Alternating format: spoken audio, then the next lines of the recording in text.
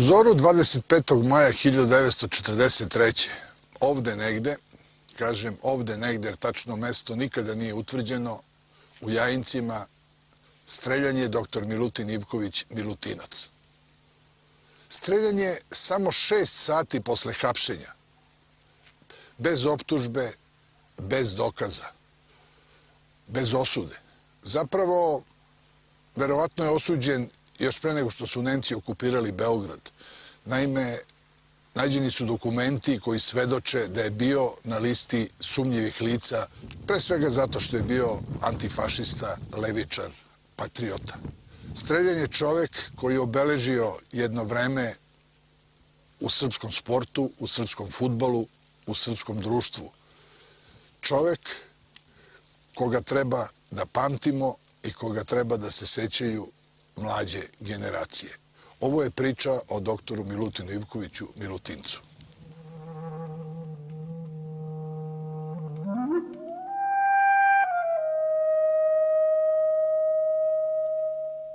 3. marta 1906. u Beogradu rodio se Milutin Ivković, još od detinstva sa nadimkom Milutinac, pod kojim će prvo ući u istoriju srpskog futbala, a kasnije i srpskog društva kao istaknuti lekar, rodoljub i antifašist. Sa porodičnim vaspitanjem i korenima koje je imao, ded po majci Mili bio mu je čuveni srpski vojvoda iz Prvog svetskog rata Radomir Putnik, a otac Jovan Pukovnik, nosilac Karadžorđeve zvezde i Francuske legije časti, Milutinac je od najranijeg detinstva bio zadojen patriotizmom – Tokom rata kao učenik organizovao je da se na času pevanja umesto austro-ugarske himne peva srpska. Kada je 1918. srpska vojska ulazila u Beograd, 12-godišnji Milutin odvoja svoju mlađu braću, 9-godišnjeg Gojka i 6-godišnjeg Duška u Jajince da dočekaju oslobodioce. Ko je mogao slutiti da će baš tu, u Jajincima, 25 godina kasnije, okončati svoj mladi život? A ovde kao učenik gimnazije? Da. Ne znam u koji je on išao. Evo četvrta, četvrta Beogradska, ko zna gde je bila ta. Sa drugovima, a ovde ste vas dve, ovo jako lepa slika. Jeste, dobro. Mm -hmm. Kaže, u Topčideru 37. godine sa Mirjanom i Gordanom. Mirjana i Gordana. U drugi razred četvrte Beogradske gimnazije upisao se 1919. a nekako u to vreme na poljani u blizini kuće počeo je da igra futbal. Sa drugovima iz kraja osnovao je klub kome su dali ime Obilić. Već 1920. zapazivši njegov talenat, pozvali su ga u mladince Jugoslavije, uz BSK u to vreme vodeći Beogradski klub. Isticao se kao odlučan, hrabar, uporan sa karakteristikama vođe. Već sa 16 godina, 1922. debitovao je u prvom timu. Naredne godine već se ustali u prvoj ekipi. Njegovo ime sve češće počinje da se pojavljuje u novinama, a 1924 imao je internacionalno krštenje u prijateljskom meču protiv slavnog Ferenc Varoša. Milutinac je bio John Wayne našeg futbala, toliko je on bio impozantna ličnost, prvo idealno građen, drugo nosio je neku unutrašnju lepotu koja je zračila i koja je čak osvetljavala gledalište. Milutinac je u septembru 1924. upisao studije medicine što mu nije smetalo da i dalje bude nezamenljiv u Jugoslaviji, a uskoro i u državnom timu. U reprezentaciju je prvi put pozvan početkom 1925. Na prijateljskoj utakmici protiv Štajerske u Zagrebu, 2-0 za reprezentaciju Jugoslavije, bio je najbolji na terenu što je kapitena Štajeraca navelo da kaže kako je Ivković odlično bremzovao naše napade, pa se iz tog izraza koji je značio zaustavljao kočio, u novinama rodio nadimak po kome će biti poznat državna kočnica. 1939. i 1940. godine igrao sam u Basku zajedno sa pokojnim doktorom Milutincem. Još uvek mi je u sećanju e, njegova izrazito e, izrazito sportska e, figura. Još uvek se smatra e, najboljim bekom svih vremena naših. Kao takav je i dobio naziv državna, državna košnica. Zvanično, Ivković je debitovao u reprezentaciji 28. oktobra 1925. u Pragu protiv Čekoslovačke, a poslednji, 40. put, dres sa državnim grbom obukao je 16. decembra 1934. u Parizu protiv Francuske. Bio je učesnik olimpijade u Amsterdamu 1928. ali je u meču sa Portugalom isključen 10 minuta pre kraja, jer temperamentan kakav je bio, nije mogao da otrpi neku sudijsku nepravdu. Uživao je veliko poštovanje sa igrača, ali je on uzvraćao tako. On je samo znao da pogleda oštro sa igrača i ovaj se pogleda i kaže izvini. Ako je pogrešio da zdržao loptu pa dribluo pa izgubio, onda je on nije morao da se dere, ali je uživao veliko poštovanje sudija i gde god su gostovali, nikada nije prema njemu neko ispoljio neki nesportski gest. On je bio najkompletnija figura koju su ikada imali za ovih 90 godina jugoslovenskog futbola. Posle 10 godina igranja u Jugoslaviji došao je u sukob sa upravom zbog čega je odlučio da napusti klub. Iako je štampa objavila da prelazi u BSK, nije ni pomislio da ode u redove najvećeg rivala, jer bi to bilo u suprotnosti sa njegovim strogim moralnim principima. Odlučio se za Soko, u to vreme treći beogradski klub, ali sasvim dovoljno kvalitetan da Milutinac održi formu i predvodi reprezentaciju na istorijskom učešću na prvom svetskom prvenstvu u Urugvaju 1930 idol čitave beogradske, a možda i jugoslovenske publike e, bio je dugo godina, a kasnije kada je već bio na kraju i kada je prestao da igra, ostao je kao idealan, e, kao idealan sportista. Milutinac imao posebno jedan dug šut, a bio je, njegov specialitet se bile takozvane makazice. On u vazduhu skočio, onda bi ta lopta išla po 60-70 metara i izazivala divljenje i aplauz.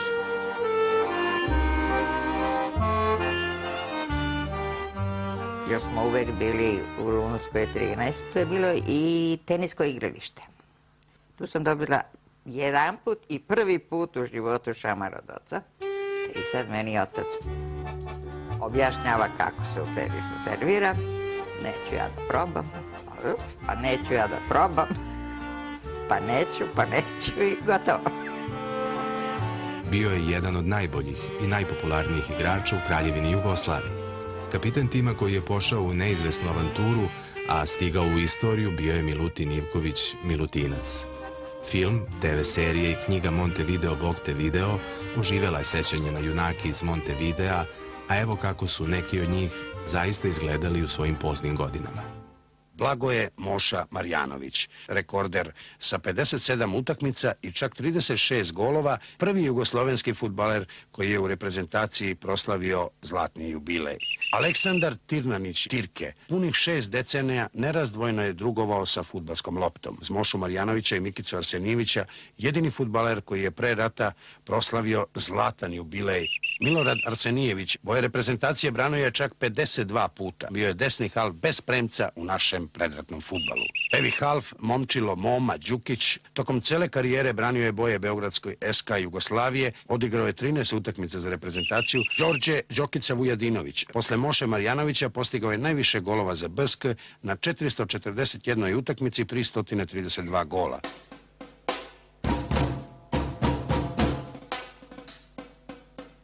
Posle tri dana putovanja vozom od Beograda do Marseja i 18 dana brodom Florida, reprezentacija Jugoslavije je 8. jula 1930. stigla u Montevideo. Mi smo 20 dana putovali preko okeana, bez treninga, bez nigde ičega i zaista je to jedan, jedan, jedan ne napor, nego jedna, jedna entuzijazam, jedna, jedna želja. Žil Rime, predsednik FIFA, lično se popeo na brod da pozdravi naš tim i zahvali rukovodstvu što je odlučilo da Jugoslavija učestvuje jer su se iz Evrope uz Jugoslaviju odazvale još samo Francuska, Belgija i Rumunija. I mi smo stvarno zaista postigli tamo jedan uh, fini rezultat i to je onako uh, prijatnog da čovjek se seti kako je. Za šampionat je izgrađen novi stadion nazvan Centenario u čast stogodišnjice zemlje. Zanimljivo je da je zvanično otvoren 18. jula 1930. u meču Urugvaj-Peru. Radovi su zbog stalnih kiša od početka godine kasnili tako da je svečano otvaranje sa defileom ekipa pred 100.000 gledalaca održano pet dana posle početka takmičenja.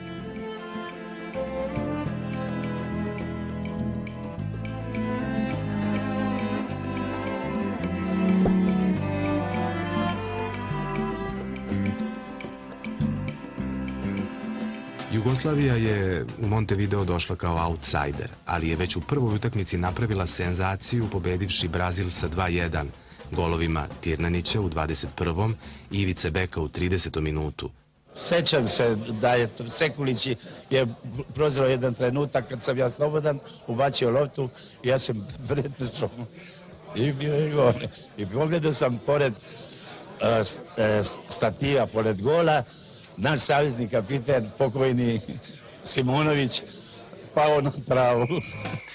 Jugoslavija je povela sa 2-0, a onda je na scenu stupila odbrana na čelu sa golmanom Milovanom Jakšićem, koji je tog dana dobio nadimak El Gran Milovan, i Milutinom Ivkovićem, koji je po svedočenju vođe puta doktora Mihajla Andrejevića odigrao utakmicu života.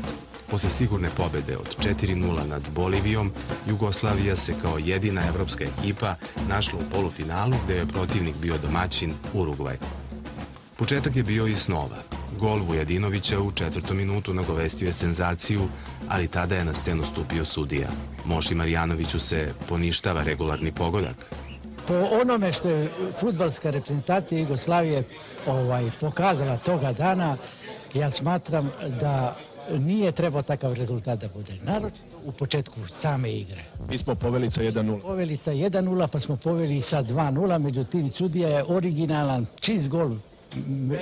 To je štampa cijela piše o tome dan dani, jel da? Sudija nam je poništio čist gol. Taj gol koji nam je sudija poništio, taj nas je gol upropastio. Urugvaj daje gol iz ofsajda, a kulminacija je treći gol Urugvajca posle asistencije jednog policajca koji je vratio loptu iz gol auta u teren. Na kraju je bilo nezasluženo, visokih 1-6. Na kraju šampionata objavljen je idealan tim u kome su se našli Milovan Jakšić i Milutin Ivković.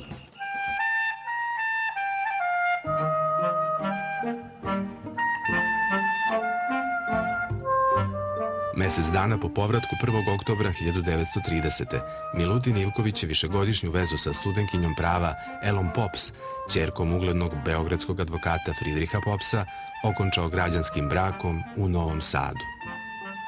I moja majka je htjela da se pokrsti.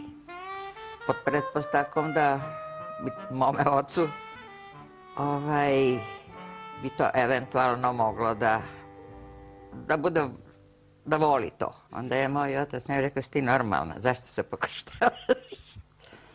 pa su onda, pošto u Beogradu nije bilo građanskog braka, oni su išli u Novi Sad i tamo se uzeli i mir. Godinu dana kasnije, 2. jula 1931. diplomirao je i postao lekar, a te godine rodila se prva čerka, Gordana. 1934. i druga, Mirjana. Bili su to najsrećniji dani u životu doktora Milutinca. Skladan brak, divna žena koja je svirala klavir i govorila nekoliko jezika, lepa i zdrava deca. Bili su idealno ogruženje. I tu 40, negde 42. godine s proleća i kada je počeo, kada je sunce ogranulo, pojavio se Milutinac koji je tu dolazio sa svojim čerkama. Ja sam ga zapamtio kao čoveka divnoga izgleda, a najviše mi je u uspomeni ostala njegova crna kosa, koja je bila preneta i na njegove čerke. On ih je ostavljao na tribinama, jer tada su još bile neke tribine na teniskim igralištima PTK, da se sunčaju. Bila sam klinac do duše, ali dobro znam ovako, idemo zajedno pa onda on u svrštionicu, pa kad se presuče, onda dođe tako i vidi gde ima poznatih i onda me samo odvede i čuvajte me, nemoj da mi negde ode. Pa mogla sam imati jedno sedam. To je počela da radi slikarka koja se zvala Greta Riko. Ali je bila jevrejka. Zaratilo se, ovo je ostalo, a ona je pobegla iz Evrope i otišla u Južnu Ameriku. A frizura se zvala mamina frizura, nije moglo drugčije da bude. Jedna kikica ovde, jedna kikica ovde, pa ovde mašna. Bude smešno. A ona je recimo za vreme Prvog svetskog rata, tamo imam sliku njenu iz Ciriha, gde sedi u razredu, sa velikom belom mašnom. Doktor Ivković je postao specijalista za kožne i venerične bolesti, imao je svoju ordinaciju, veliki krug prijatelja i poštovalaca. Njegova vrata bila su svima otvorena.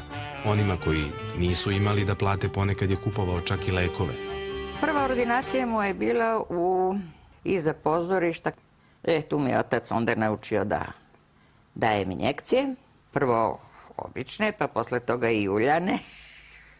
I onda se dobro sećam kad bi došli, dođu nemački vojnici, donesu ovako neku, neku ogromnu gu, grudvu nekakvog neke čokolade, koja još nije dobro obrađena i tako dalje, ne liči na čokoladu.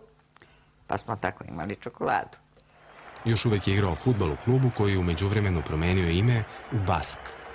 Sve što je dobijao kao futbaler, davao je onima koji su imali manje od njega. Bilo je lepo, mogu vam reći. Dok nije postalo strašno. Dok se nije podešavalo što se podešavalo. Porodična idila počela je da se narušava 1937. kada je Ela obolela od tuberkuloze. Iako i sam lekar, Milutin Ivković nije mogao da pomogne voljenoj supruzi. Posle duge bolesti preminula je 29. avgusta 1938. Mlada, zlatna, dobra. To se zvala galopirajuća tuberkuloza. Da je bilo penicilina, ne bi umrla tada. Mama, pošto nije se pokrstila, jer je moj otac nije dozvolio da se pokrsti, ona je sahranjena na jevrijskom groblju. Kad su nju spuštali, ovaj tata mi je sedao na kantije za đubre. Nije mogao da gleda i da prisustuje celoj stvari.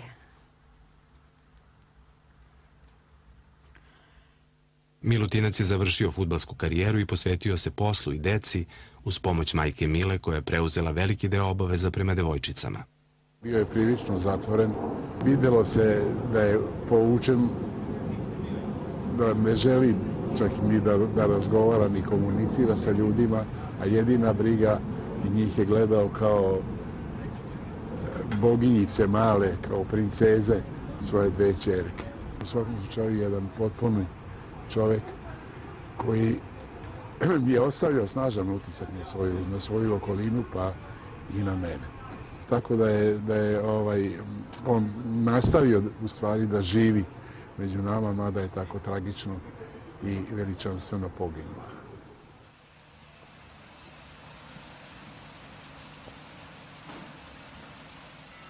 Kao što se ne zna gde je doktor Milutin Ivković streljan, ne zna se ni gde je sahranjen. Doduše, ovde na Novom groblju, u porodičnoj grobnici Vojvode Radomira Putnika, koji mu je bio deda po majci, Milutinčeva majka Mila, bila je čerka Radomira Putnika.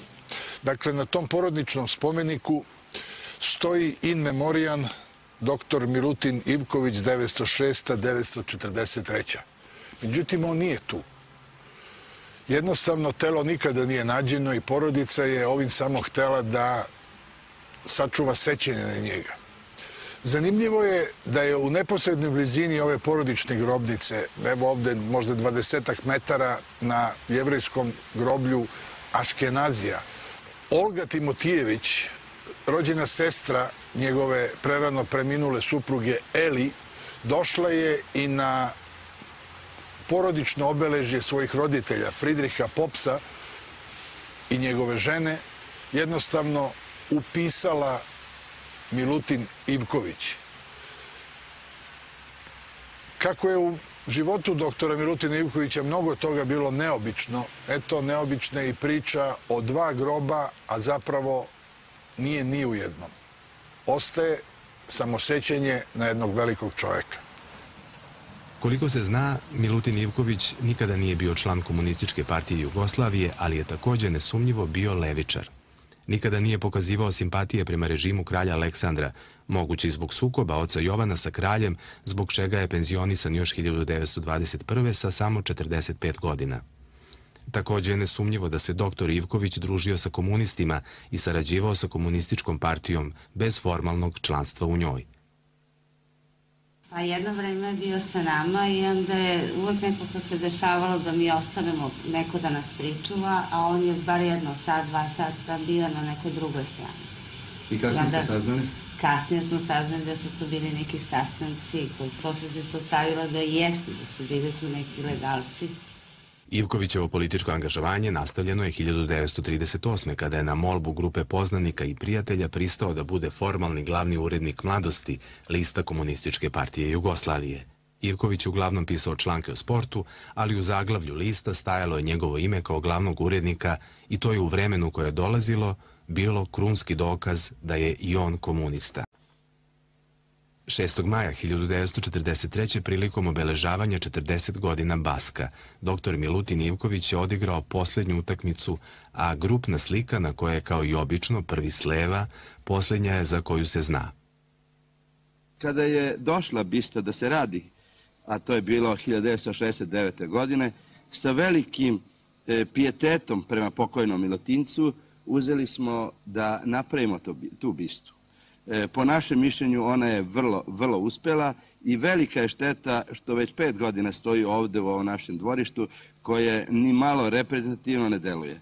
Mišljenja, e, mišljenja sam, a mislim da delim mišljenje svih sportista koji su poznavali, a svi koji su poznavali, oni su i duboko cenili doktora Ivkovića, da bi njegova bista u svakom slučaju morala da bude istaknuta negde na javnom mestu i da, on, i da upozna sve sadašnje sportiste i buduće sa jednim idealnim čovekom, velikim humanistom i sportistom Jugoslavije.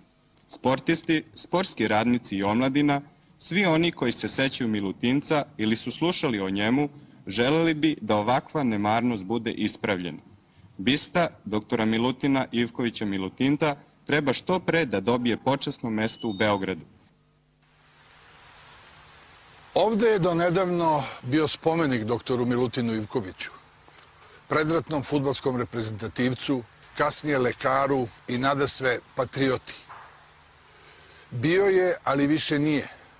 Sada imamo spomenik nekulturi, jer je neko za malo para ukrao spomenik i umesto sećenja na jednu od najvećih ličnosti iz istorije Srbije, ne samo srpskog sporta, imamo spomenik sramoti. Bivša država se dostojno odužila velikom Milutincu. Nedaleko odavde imamo ulicu koja nosi njegovo ime. Na Paliluli imamo dom zdravlja koji se zove dr. Milutin Ivković. U Zemunu postoji futbalski klub koji se zove Milutinac. Na ovom stadionu, koji se nekada zvao JNA, još 1951. postavljena je spomen ploča doktoru Milutinu Ivkoviću.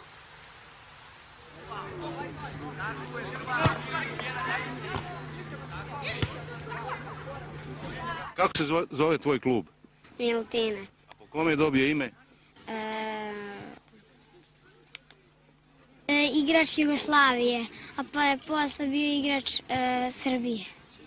Bio je kapitan reprezentacije, bio je streljan. Je li bio dobar igrač?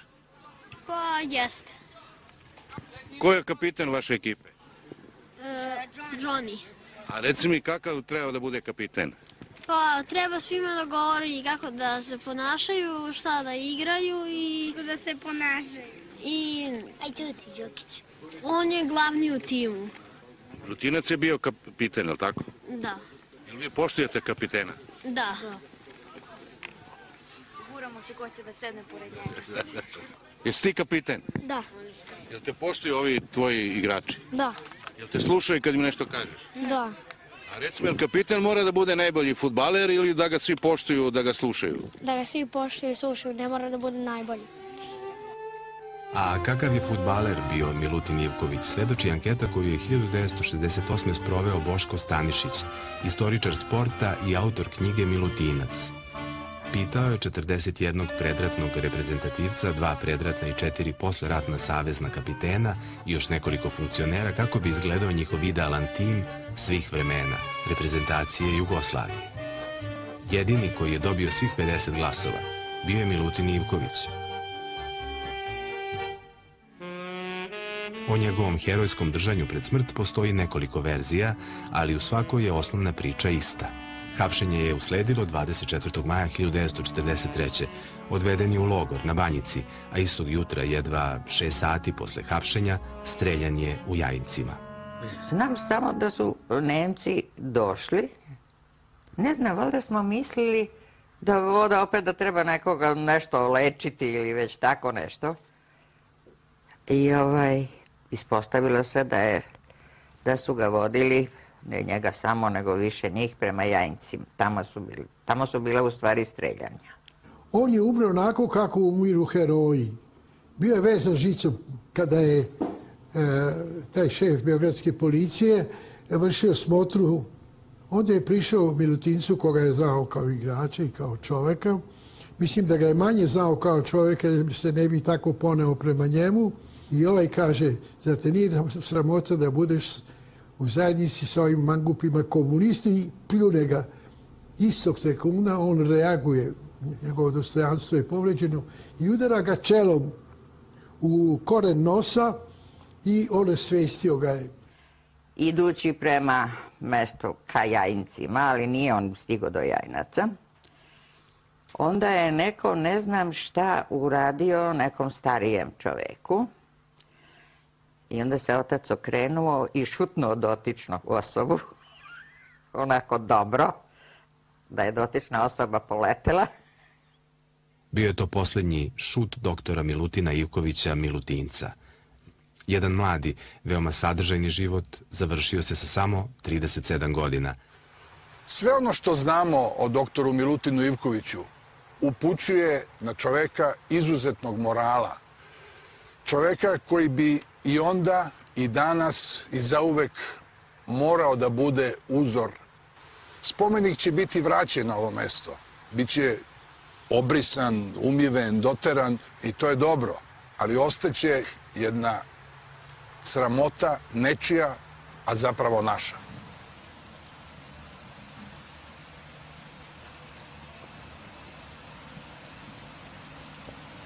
Kad sam pročitao u politici da je ukradena bista, onda sam bio pomalo, moram priznati, nesrećan. Oni koji kradu i ruše spomenike zapravo ubijaju mrtve, a to je najniži dio moralnog bada. Ubijanje mrtvih. Inače, u vajarskom poslu nije bitno napraviti lik, nego ličnost. Za mene nije bez značaja njegova ličnost, pacifistički orijentiran, antifašistički, i da je ubijen u jajnicima, iako mogu reći dovoljan, snažan motiv da doprinesem da njegov lik bude očuvan u Beogradu za generacije koje dolaze i koje sad žive. Spomenik je ponovo urađen i vraćen na isto mesto i nadamo se da će tu i ostati. Želim da prisvajam ovaj dan, ovo nema veze u stvari sa mnom, nego sa tom veličinom stvarno koja je ovaj, sa Milutincem koji je, već više puta sam imao priliku da kažem i da se u stvari divim toj veličini.